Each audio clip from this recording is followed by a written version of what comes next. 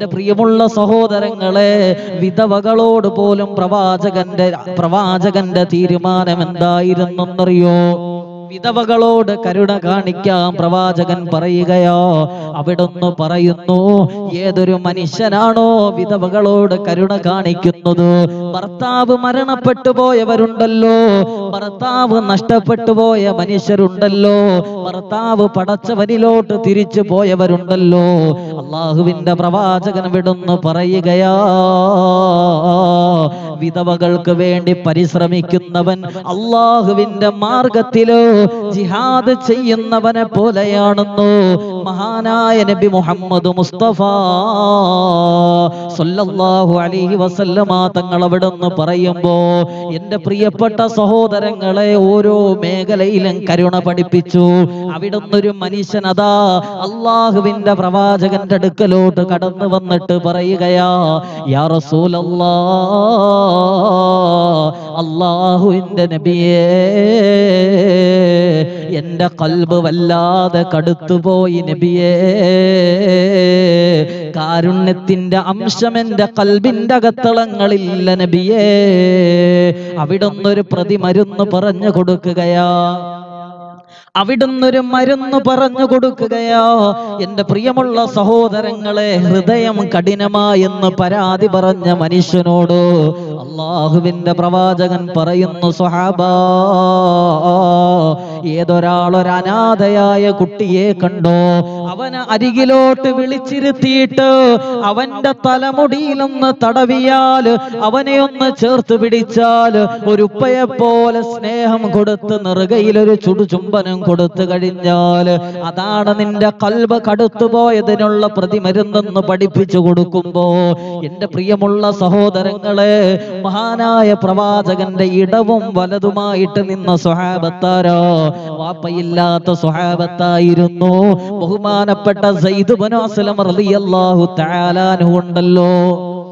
ബഹുമാനപ്പെട്ട ബഹുമാനപ്പെട്ട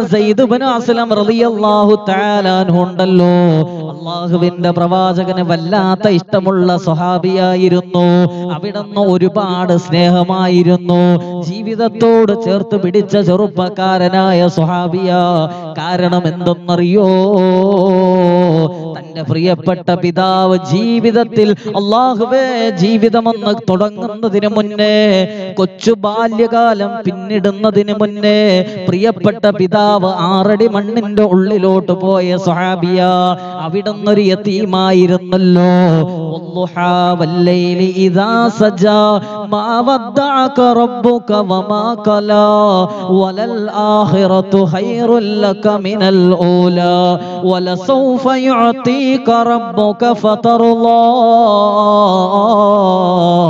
ألم يجدك يتيما فآوى ആ റസൂലുള്ള തന്നെ ഒരു യതീമായിരുന്നല്ലോ. ഹബീബായ പ്രവാചകൻ ഒരു യതീമായിരുന്നല്ലോ. വാപ്പയെ കണ്ട പരിചയം പോലും അള്ളാഹുവിന്റെ റസൂലിനില്ല. ഉമ്മയുടെ ഗർഭാശയത്തിൽ എട്ടാം മാസം കിടക്കുമ്പോ അതാ തന്റെ പ്രിയപ്പെട്ട പിതാവ് അബ്ദുല്ലാഹു തആല മദീനത്ത് വെച്ച് മരിച്ചെന്നുള്ള ചരിത്രം നമ്മൾ പഠിച്ചതാണല്ലോ. മഹാനായ പ്രവാചകനെ വിടുന്ന് പറയുന്നു സ്വഹാബാ പിന്നെ നിങ്ങൾക്ക് കരുണ കാണിക്കേണ്ടത് ആരെയോടെന്നറിയോ? ആരോടാണ് നിങ്ങൾ കരുണ കാണിക്കേണ്ടതെന്നറിയോ? കടബാധിതയുള്ള മനുഷ്യരുണ്ടല്ലോ. അള്ളാഹുവേ നിവൃത്തികേട് കൊണ്ട് കടം മേടിച്ചിട്ട് സമയത്തിനത് തിരിച്ചു കൊടുക്കാൻ കഴിയാതെ കൊടുക്കണമെന്ന് മനസ്സുണ്ട് പക്ഷേ കഴിയുന്നില്ല. സമ്പത്ത് ഒക്കാതെ ജീവിക്കുന്ന ആളുകളുണ്ടല്ലോ. റസൂലുള്ള പറയുന്നു അവനോട് പോലും നീ കരുണ കാണിക്കണേ. സ്വഹാബ അവിടുന്ന് പറയുന്നു സ്വഹാബ ഏതെങ്കിലും ഒരു മനുഷ്യനുണ്ടല്ലോ കടം മേടിച്ച വ്യക്തിയോട് അള്ളാഹുവെ കരുണ കാണിച്ചു കഴിഞ്ഞാൽ ഓരോ ദിവസവും അതേ പൈസ അവന് സ്വതക്ക കൊടുത്ത പ്രതിഫലമാണ് അള്ളാഹു നൽകുന്നതെന്നോ മഹാനായ നബി മുഹമ്മദ് മുസ്തഫ സല്ലല്ലാഹു അലൈഹി വസല്ലമ തങ്ങൾ പഠിപ്പിക്കുമ്പോ എന്റെ പ്രിയമുള്ളവരെ ആ പ്രവാചകന്റെ ജീവിതം എന്നത് പരിശോധിച്ചു നോക്കണം. ആ പ്രവാചകന്റെ ജീവിതം എന്നെടുത്ത് പരിശോധിച്ചു നോക്കണം. അവിടത്തെ വിജയത്തിന്റെ രഹസ്യം എന്താണെന്ന് പഠിക്കണം. പരിശുദ്ധമായ ഖുർആൻ പറയുകയാണ് ഫബിമാ മിനല്ലാഹി വലൗ കുന്ത ഫല്ലൻ ഖൽബ്. നബിയേ അങ്ങ് കരുണയുടെ ഉടമസ്ഥനായിരുന്നില്ലെങ്കിൽ കരുണയുള്ള ഹൃദയത്തിന്റെ ഉടമയായിരുന്നില്ലെങ്കിൽ ഈ കാണുന്നവരാരും അങ്ങേ അംഗീകരിക്കില്ലായിരുന്നു. യാ അതുകൊണ്ട് നബിയേ അങ്ങ് കരുണയുള്ളത് കൊണ്ടാണ് ഈ കാണുന്ന ആളുകൾ അങ്ങേ വിശ്വസിച്ചതെന്നോ. പരിശുദ്ധ ഖുർആൻ. അള്ളാഹു നമുക്ക് തൗഫീഖ് നൽകി അനുഗ്രഹിക്കുമാറാവട്ടെ. നബി തങ്ങളുടെ ജീവിതം ആ വിജയത്തിന്റെ രഹസ്യമായിട്ട് പരിശുദ്ധ ഖുർആൻ പറയുന്നു ഫബിമാ റഹ്മത്തിൻ മിനല്ലാഹി ലിൻതലഹും വലൗ കുന്ത ഫല്ലൻ ഗലീദൽ ഖൽബ് അഥവാ യാ റസൂലല്ലാ അങ്ങൊരു കഠിന ഹൃദയനായിരുന്നെങ്കിൽ അങ്ങൊരു സഹജീവികളോട് സ്നേഹമില്ലാത്തവനായിരുന്നെങ്കിൽ പാവപ്പെട്ടവന്റെയും ദുഃഖങ്ങളും ദുരിതങ്ങളും പേര് നടക്കുന്നവന്റെ മുഖത്തോട്ട് നോക്കാത്ത ഒരാളായിരുന്നെങ്കിൽ അള്ളാഹുവിന്റെ നബിയെ അങ്ങയോട് അള്ളാഹു ഒരു രീതിയിലും ഒരു പരിഗണനയും കാണിക്കില്ലായിരുന്നു. അള്ളാഹുവിന്റെ റസൂൽ സഹജീവികളോട് സ്നേഹം കാണിച്ചു അള്ളാഹു നബിതങ്ങളോട് സ്നേഹം കാണിച്ചു. അള്ളാഹു നമുക്ക് തൗഫീഖ് നൽകി നിഗ്രഹിക്കുമാറാവട്ടെ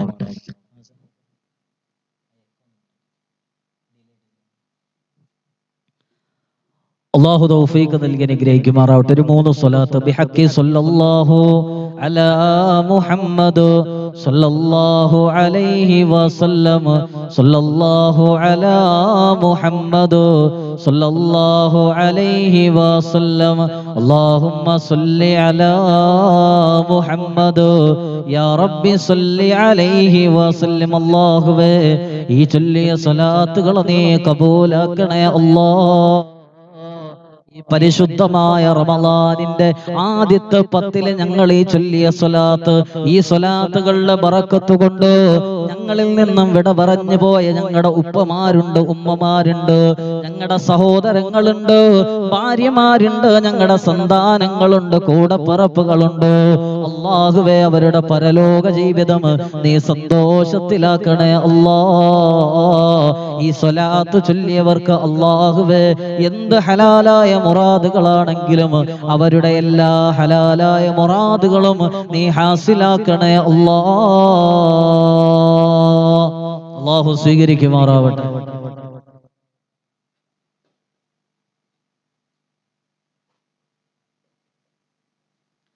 അള്ളാഹു സ്വീകരിക്കുമാറാവട്ടെ. നമ്മൾ ചൊല്ലിയ സ്വലാത്തുകളെ അള്ളാഹു കബൂൽ ചെയ്ത് അനുഗ്രഹിക്കുമാറാവട്ടെ.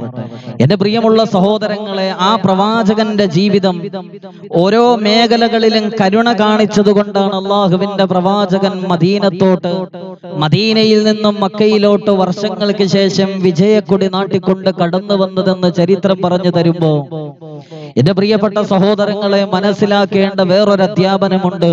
അള്ളാഹുവിന്റെ പ്രവാചകന്റെ ജീവിതത്തിൽ നിന്ന് പഠിക്കേണ്ട ഒരു കാര്യമുണ്ട്. മഹാനായ നബി മുഹമ്മദ് മുസ്തഫ സല്ലല്ലാഹു അലൈഹി വസല്ലമ തങ്ങളെ കുറിച്ച് ഖുർആൻ കരുണയുടെ ഉടയവൻ എന്ന് പറയുമ്പോ അവിടുന്ന് കരുണ കാണിച്ചത് കൊണ്ടാണ് ലോകത്തിന്റെ നെറുകയിൽ വിജയക്കൊടി പാറിപ്പിച്ചതെന്ന് അവിടുന്ന് പഠിപ്പിച്ചു തരുമ്പോ എന്റെ പ്രിയമുള്ള സഹോദര ആ പ്രവാചകന്റെ ജീവിതം എന്നെടുത്ത് പരിശോധിച്ചു നോക്ക്. തായിഫിന്റെ മണ്ണിലോട്ട് പ്രിയപ്പെട്ട ഭാര്യ വിട പറഞ്ഞു പോയപ്പോ പ്രിയപ്പെട്ട പിതാവിന്റെ പിതാവ് വിട പറഞ്ഞു പോയപ്പോ എല്ലാവരും നഷ്ടപ്പെട്ട ഏകാന്ത പതികനെ പോലെ അള്ളാഹുവിന്റെ പ്രവാചകന് മക്കയിൽ നിന്നും തായിഫിന്റെ മണ്ണിലോട്ട് കടന്നു ചെല്ലുമ്പോ അവിടെ തന്റെ പ്രിയപ്പെട്ട ഉമ്മയുടെ വീട്ടുകാര് തന്നെ സ്വീകരിക്കുമെന്നുള്ള വലിയ വലിയ പ്രത്യാശയോടുകൂടി കടന്നു ചെല്ലുമ്പോ അതാ അള്ളാഹുവിന്റെ പ്രവാചകൻ അവരെ കാത്തിരുന്നത് എന്തുകൊണ്ടെന്നറിയോ? ചന്തയിലുള്ള പിള്ളേരെ വിളിച്ചുകൊണ്ട് അവരുടെ കയ്യിലോട്ട് കല്ലുകൾ പറക്കി കൊടുത്തുകൊണ്ട് മുഹമ്മദ് എന്ന വ്യക്തി ഇങ്ങോട്ട് കടന്നു വന്നാൽ അവന്റെ മുഖത്തോട്ട് ഈ കല്ലുകൾ വലിച്ചെറിയണേ എന്ന് പറഞ്ഞുകൊണ്ട് അതാ നാട്ടിലുള്ള ചന്ത പിള്ളേരെ അള്ളാഹുവിന്റെ പ്രവാചകനെ കല്ലെറിയാൻ വേണ്ടി ആ നാട്ടുകാരായവരെ ഏർപ്പാട് ചെയ്യുകയോ. അള്ളാഹുവിന്റെ റസൂലിനെ കല്ലെറിഞ്ഞു. അഞ്ച് കിലോമീറ്ററോളം അള്ളാഹുവിന്റെ റസൂൽ ഓടുകയോ. നഗ്നപാതനായിട്ടാണ് ഓടുന്നത്. കാലിലൊരു ചെരിപ്പ് പോലുമില്ല. അള്ളാഹുവിന്റെ പ്രവാചകൻ ഓടിയതാ.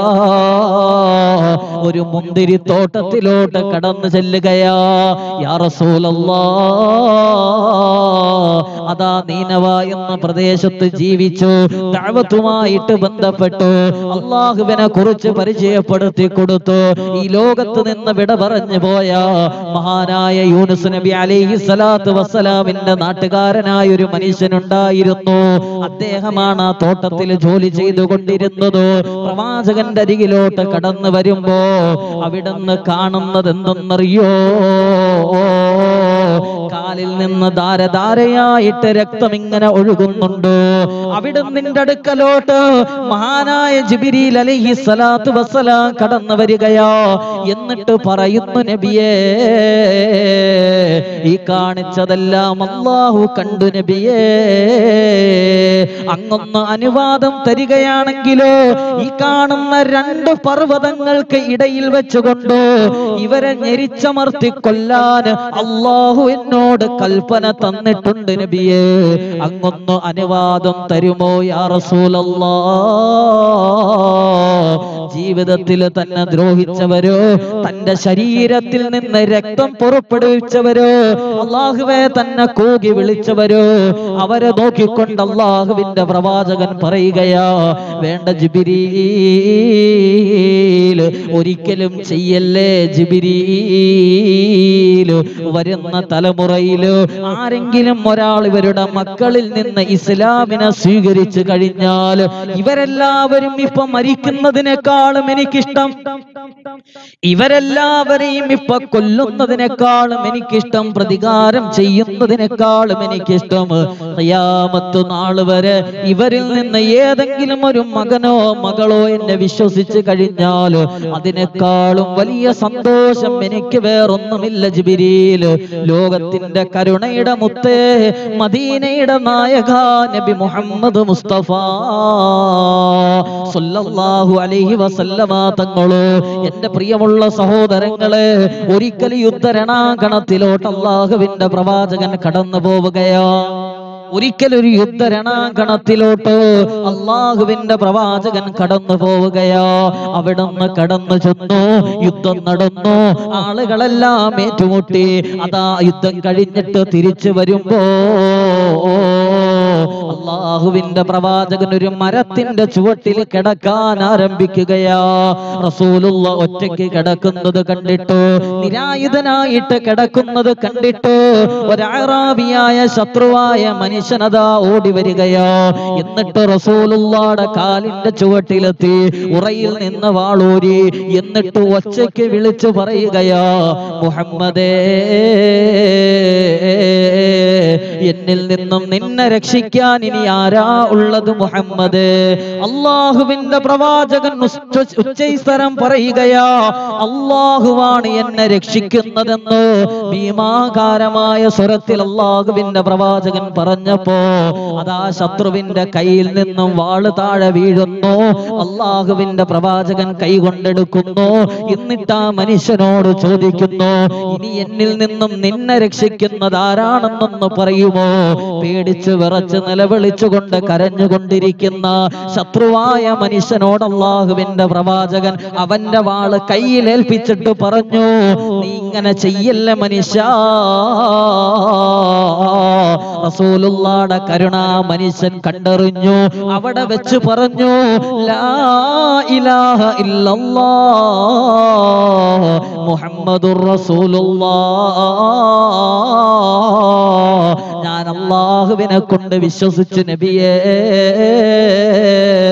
അങ്ങയെ കൊണ്ട് ഞാൻ വിശ്വസിച്ച് നബിയെ അവിടെ വെച്ച് മുസ്ലിമ എന്ന ചരിത്രം പഠിപ്പിച്ചു തരുമ്പോ അള്ളാഹുവിന്റെ റസൂലിന്റെ കരുണ കണ്ടിട്ടല്ലേ ഇസ്ലാമിലോട്ട് കടന്നു വന്നത്? ആ മനുഷ്യനല്ലേ പിൽക്കാലഘട്ടത്തിൽ ഒരുപാട് ദഅവത്ത് ചെയ്തത്? അദ്ദേഹത്തിന്റെ ദഅവത്ത് കാരണമായിട്ട് ഒരുപാട് ആളുകൾ ഇസ്ലാമിലോട്ട് കടന്നു വന്നെന്ന് ചരിത്രം പറയുമ്പോ എന്റെ പ്രിയമുള്ള സഹോദരാ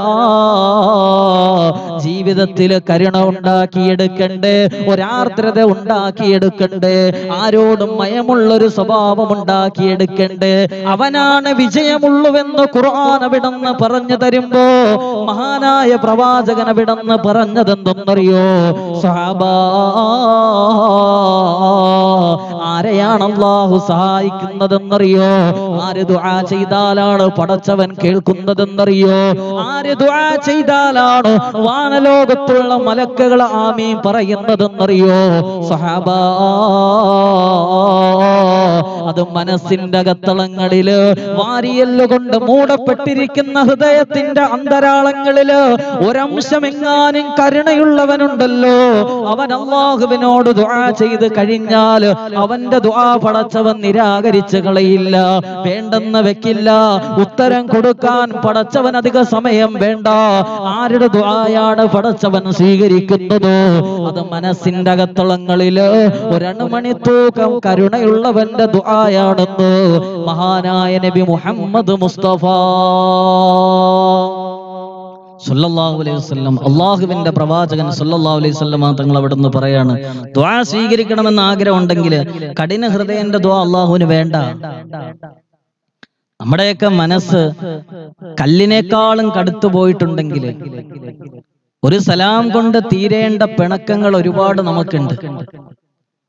ഒരു സലാം പറഞ്ഞാൽ തീരാവുന്ന അവസാനിക്കാവുന്ന പിണക്കങ്ങൾ ജീവിതത്തിൽ ബാക്കി വെച്ചിട്ട് പടച്ചവനോട് എത്ര കരുണ ചോദിച്ചാലും പടച്ചവൻ കരുണ ചെയ്യില്ല.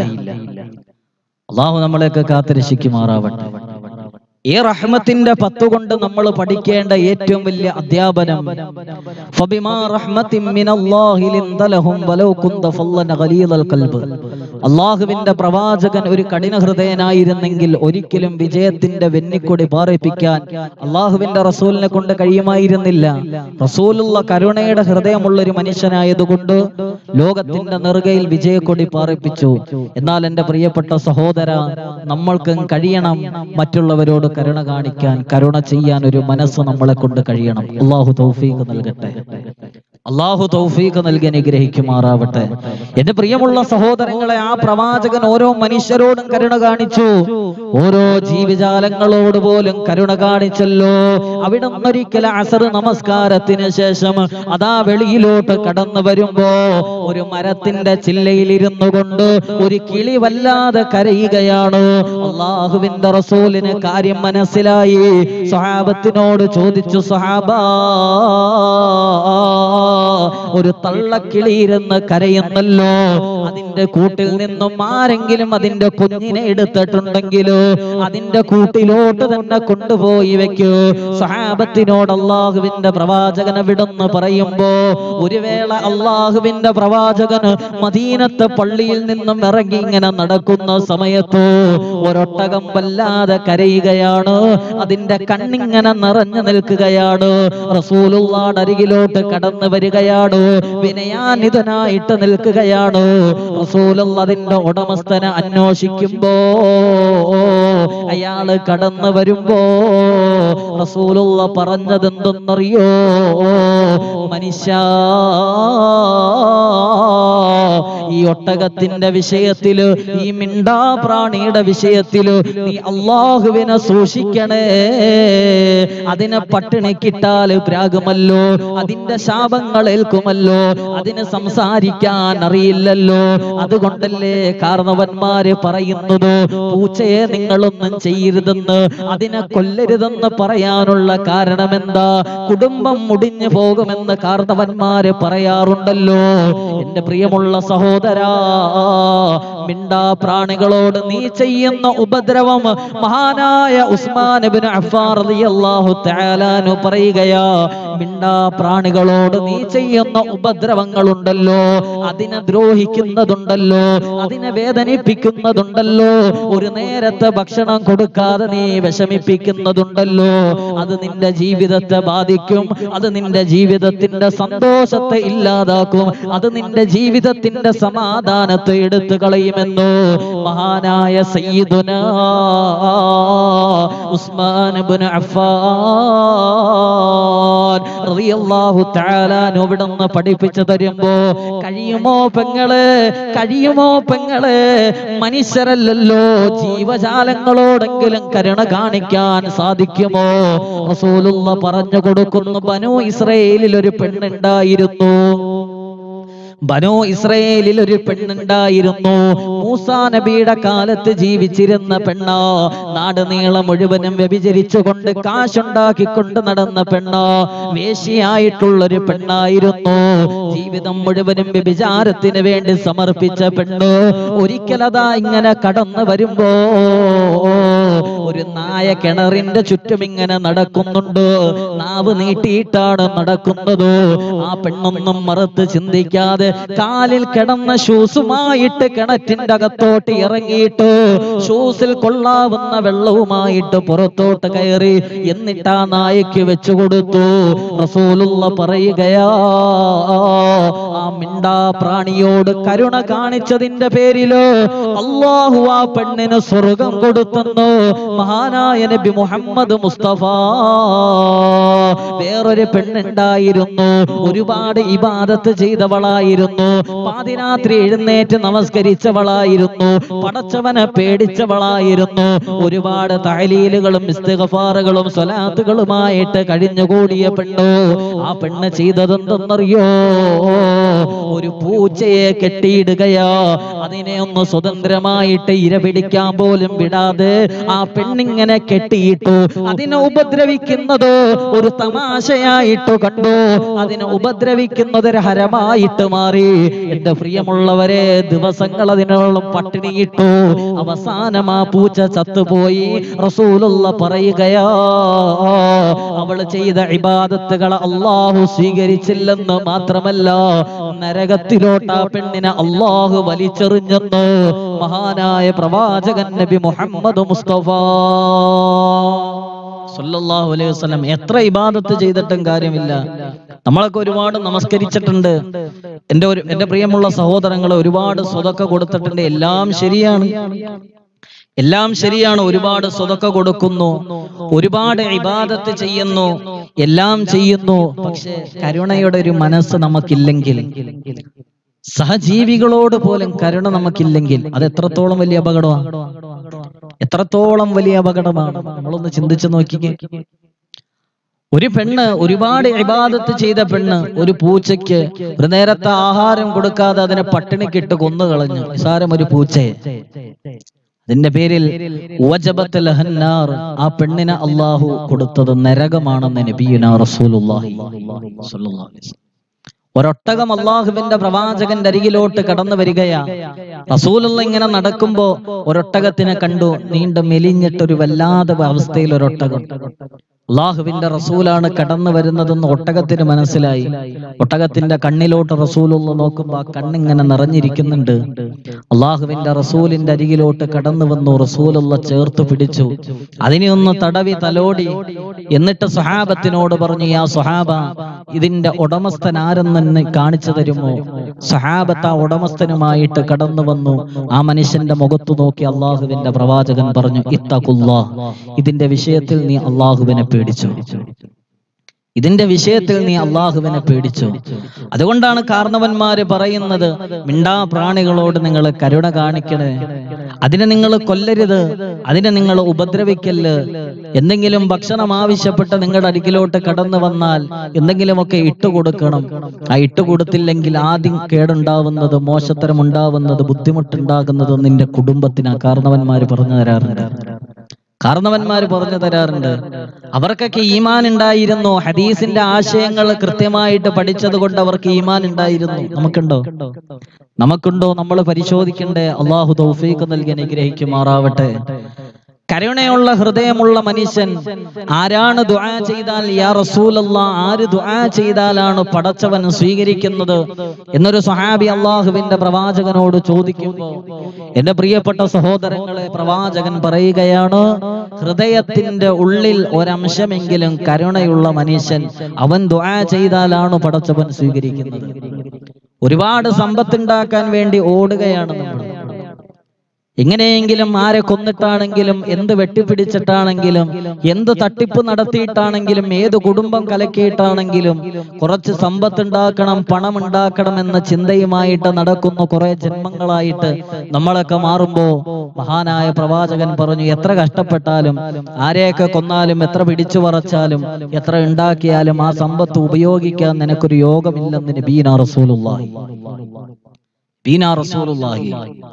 ചില സമ്പന്നന്മാരെ നമ്മൾ നോക്കിയിട്ട് പറയാറുണ്ട് പടച്ചവൻ എന്തോരം സമ്പത്താ പടച്ചവനെ അദ്ദേഹത്തിന് നീ കൊടുത്തത്? അവരുടെയൊക്കെ ജീവിതത്തിൽ വലിയ ബറക്കത്തും സന്തോഷവുമായിരിക്കും. കാരണം എന്താ? കിട്ടിയ സമ്പത്തിൽ നിന്നും അർഹതപ്പെട്ടവർക്ക് അവർ മാറ്റിവെക്കാറുണ്ട് അതുകൊണ്ട് പടച്ചവൻ ഇരട്ടി ഇരട്ടിയായിട്ട് കൊടുക്കാറുണ്ട്. അതാണ് അവരുടെ വിജയത്തിന്റെ രഹസ്യം. യൂസഫ് അലിയെ കുറിച്ച് നമ്മൾ പറയാറുണ്ട് നന്മ മരം എന്ന് പറയാറുണ്ട്. എന്തേ അദ്ദേഹത്തെ കുറിച്ച് നമ്മൾ നന്മ നന്മ എന്ന് പറയുന്നു? ഇന്നും ഈ വാൾ നടത്തുന്ന ഇന്ന് റമലാൻ ആറിന്റെ ഇന്ന് അദ്ദേഹം മലപ്പുറത്തുള്ള അദ്ദേഹം നിർമ്മിച്ചു കൊടുത്ത അശരനായ പാവപ്പെട്ടവരായ അനാഥകളായ പാവപ്പെട്ട ഉമ്മമാർക്ക് വേണ്ടി ഒരു സ്ഥാപനം അദ്ദേഹം പടന്നു കൊടുത്തിട്ടുണ്ട്. ആ സ്ഥാപനത്തിൽ ഇന്ന് അദ്ദേഹം നോമ്പ് തുറപ്പിക്കാൻ വേണ്ടി എത്തി. ലക്ഷക്കണക്കിന് രൂപ ചെലവഴിച്ചുകൊണ്ട് കോടിക്കണക്കിന് രൂപ ചെലവഴിച്ചുകൊണ്ട് അദ്ദേഹം നല്ലൊരു സൗദം അവിടെ പണിതു. വീട്ടിലൊരു മകൻ നോക്കുന്നത് പോലെ മകൾ നോക്കുന്നത് പോലെ അമ്മമാരെ പരിഗണിക്കാൻ വേണ്ടി പരിചരിക്കാൻ വേണ്ടി അവിടെ ആളുകളെ അദ്ദേഹം നിയോഗിച്ചു. ഒരുപാട് മാതാപിതാക്കളുടെ പ്രാർത്ഥനയുമായിട്ട് അതിന്റെ പിൻബലത്തോടുകൂടി ജീവിതം മുന്നോട്ട് കടന്നു പോകുന്ന മനുഷ്യനാണ് എം എ യൂസഫ് അലി സാഹിബ്. അള്ളാഹു അദ്ദേഹത്തിന് ആഫിയത്തോടുകൂടിയുള്ള ദീർഘായുസ് കൊടുത്ത് അനുഗ്രഹിക്കുമാറാവട്ടെ. നിങ്ങൾ തന്നെ ഒന്ന് ചിന്തിച്ചു നോക്ക് എറണാകുളത്ത് ഹെലികോപ്റ്റർ അപകടമുണ്ടായപ്പോ സ്വാഭാവികമായിട്ടും അതിനെ ഒന്ന് ഗവേഷണം നടത്താൻ വേണ്ടി കടന്നു വന്ന വിദഗ്ധരായ മനുഷ്യരെല്ലാവരും പറഞ്ഞു ഇത്രത്തോളം ഈ ഒരു അപകടം സംഭവിച്ചത് വേറൊരു മനുഷ്യരിലായിരുന്നെങ്കിൽ മരണം ഉറപ്പാണ്. കാരണം ആ രീതിയിലാണ് അപകടമുണ്ടായത്. മരണം ഉറപ്പായിരുന്നു. മരണത്തിന്റെ മുഖാമുഖം മരണത്തെ മുഖാമുഖം കണ്ട അവസ്ഥയിൽ നിന്നും അള്ളാഹു അദ്ദേഹത്തെ കരകയറ്റി. എന്തുകൊണ്ട്? എന്തുകൊണ്ട്? ഒരായിരം കരങ്ങൾ അദ്ദേഹത്തിന് വേണ്ടി ദുആ ചെയ്യാനുണ്ട് പടച്ചവനെ. എന്റെ കുടുംബത്തിലെ കണ്ണീരൊപ്പിയവനാണ് അള്ളാ എന്റെ കുടുംബത്തിന്റെ കണ്ണീര് മാറ്റിയവരാണ് അള്ളാ അള്ളാഹുവെ ഒരാളും സഹായിക്കാനില്ലാത്ത സമയത്ത് ഒരു കരുണയുടെ മാലാകയെ പോലെ കടന്നു വന്ന മനുഷ്യനാണ് പടച്ചവനെ. അദ്ദേഹത്തിന് നീ ഒന്നും വരുത്തല്ല അല്ല അദ്ദേഹത്തിന്റെ കൂടെയുള്ള ലക്ഷക്കണക്കാകുന്ന സഹപ്രവർത്തകർ അവരുടെ കുടുംബങ്ങളിൽ നിന്നും ദുആ ചെയ്യുന്ന പടച്ചവനെ ഞങ്ങളുടെ പ്രിയപ്പെട്ട ഇക്ക എന്റെ പ്രിയപ്പെട്ട ഭർത്താവ് എന്റെ പ്രിയപ്പെട്ട സഹോദരൻ എന്റെ പ്രിയപ്പെട്ട മകൻ ജോലി ചെയ്യുന്ന സ്ഥാപനം അത് അതിന്റെ ഓണർ ബഹുമാനപ്പെട്ട എം എ യൂസുഫ് അലി സാഹിബ് പടച്ചവരെ ആഫിയത്ത് കൊടുക്കണേ അല്ല എത്ര കുടുംബങ്ങളിൽ നിന്ന് അദ്ദേഹത്തിന് ദുവാ കിട്ടുന്നത്? എത്ര കുടുംബങ്ങളിൽ നിന്ന് അദ്ദേഹത്തിന് ദുആ കിട്ടുന്നത്? എന്തേ കാരണം എന്റെ പ്രിയമുള്ള സഹോദരങ്ങളെ? ഒരു മനുഷ്യന്റെ ദുനിയാവിലെയും ആഹ്റത്തിലെയും വളർച്ചയ്ക്ക് കാരണം മറ്റുള്ളവരോട് സഹകരിക്കുന്ന തലത്തിലാണ് അള്ളാഹു പരിഗണിക്കുക. ഒരാളെ സഹായിക്കുന്നു മറ്റൊരു മനുഷ്യനെ പരിഗണിക്കുന്നു അവനെ ചേർത്ത് നിർത്തുന്നു. എന്നാൽ അള്ളാഹു അവനെയും ചേർത്ത് നിർത്തും. അവനെയും അള്ളാഹു ചേർത്ത് നിർത്തും. അള്ളാഹു നമുക്ക് മനസ്സിലാക്കാനുള്ള തൗഫീഖ് നൽകി അനുഗ്രഹിക്കുമാറാവട്ടെ.